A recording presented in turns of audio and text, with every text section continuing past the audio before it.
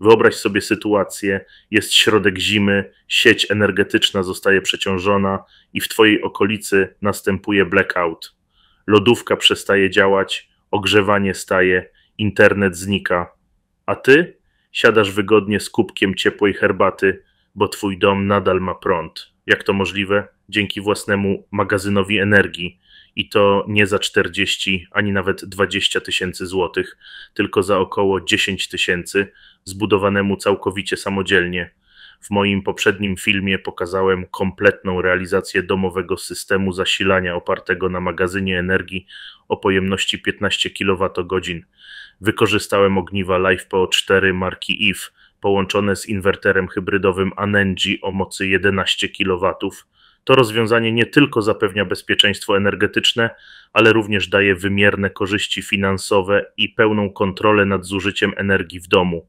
Dziś chcę pokazać Ci, dlaczego taki projekt to inwestycja, która się opłaca, jak dokładnie działa system semi-off-grid i dlaczego teraz, właśnie teraz, jest najlepszy moment, by taki system zbudować. Zacznijmy od problemu, który dotyka coraz więcej osób braku prądu, blackouty czyli przerwy w dostawie energii, zdarzają się coraz częściej. Powodem są przeciążone sieci, coraz większe zapotrzebowanie na energię oraz coraz częstsze ekstremalne zjawiska pogodowe. Dodatkowo sytuacje polityczne i kryzysy surowcowe mogą doprowadzić do lokalnych wyłączeń prądu. I choć o tym się nie mówi głośno, wielu operatorów energetycznych przygotowuje się na sytuacje awaryjne. W takich przypadkach własny magazyn energii staje się czymś więcej niż luksusem, staje się koniecznością. Dzięki niemu Twoje podstawowe urządzenia, lodówka, router Wi-Fi, oświetlenie, piec CO mogą działać niezależnie od sytuacji na zewnątrz. Ale jak działa taki system? Tu pojawia się pojęcie semi-off-grid. To połączenie najlepszych cech systemu podłączonego do sieci oraz pełnej niezależności off-grid. Semi-off-grid oznacza, że system współpracuje z siecią. Kiedy prąd jest, korzystasz z niej tak jak zawsze, ale gdy tylko go zabraknie, Twój system automatycznie przełącza się na zasilanie z akumulatorów. To płynne, niezauważalne przejście, które zapewnia ciągłość zasilania bez potrzeby używania agregatów czy ręcznego przełączania. Dodatkowo, Semi-off-grid pozwala maksymalizować wykorzystanie własnej energii z paneli fotowoltaicznych. W dzień, gdy świeci słońce, Twój system zasila urządzenia w domu i ładuje akumulatory.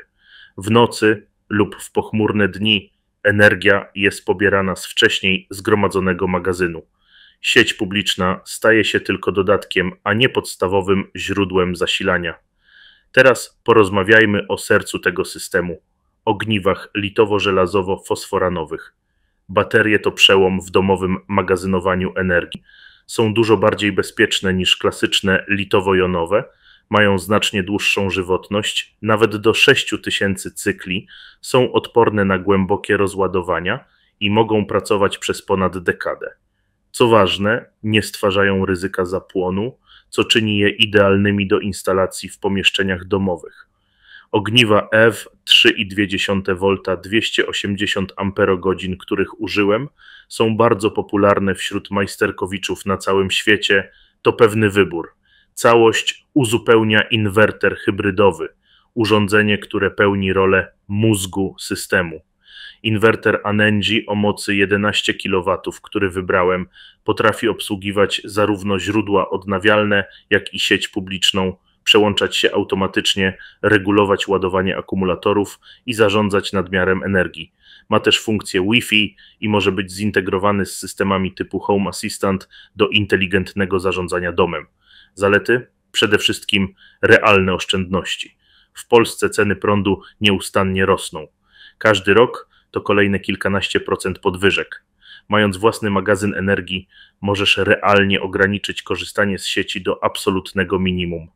Jeśli masz instalację PV o mocy 5 do 10 kW, spokojnie jesteś w stanie pokryć zapotrzebowanie domu przez większość miesięcy w roku. To oznacza nie tylko oszczędność pieniędzy, ale także uniezależnienie się od wahań cen energii i decyzji politycznych. No dobrze, ale ile to wszystko kosztuje? Mój system udało się zbudować za około 10 tysięcy złotych. W zestawie znalazły się ogniwa Life Pochery, przewody, zabezpieczenia, inwerter oraz panele PV. Całość poskładałem samodzielnie, bez firm, bez projektantów. Wszystkie etapy od konfiguracji przez lutowanie pakietów po podłączenie do rozdzielni dokładnie pokazałem w poprzednim filmie, który znajdziesz podlinkowany w opisie. Dlaczego DIY? Bo to daje pełną kontrolę nad tym, co masz. Wiesz, co jest w środku, wiesz, jak to działa, potrafisz samemu zdiagnozować usterki i rozbudować system w przyszłości. I co najważniejsze, nie przepłacasz. Firmy instalatorskie potrafią liczyć 20 do 30 tysięcy za zestaw, który zbudujesz za 10. Na koniec, czy warto? Dla mnie odpowiedź jest prosta. Tak, spokój psychiczny, niższe rachunki, techniczna satysfakcja i przygotowanie na niepewną przyszłość to wszystko sprawia, że taki system ma sens. Jeśli ty też chcesz przejść na wyższy poziom zarządzania energią w domu, zacznij od obejrzenia mojego poprzedniego filmu. Tam znajdziesz wszystkie szczegóły techniczne, listę komponentów i praktyczne porady. A jeśli masz pytania, pisz w komentarzu.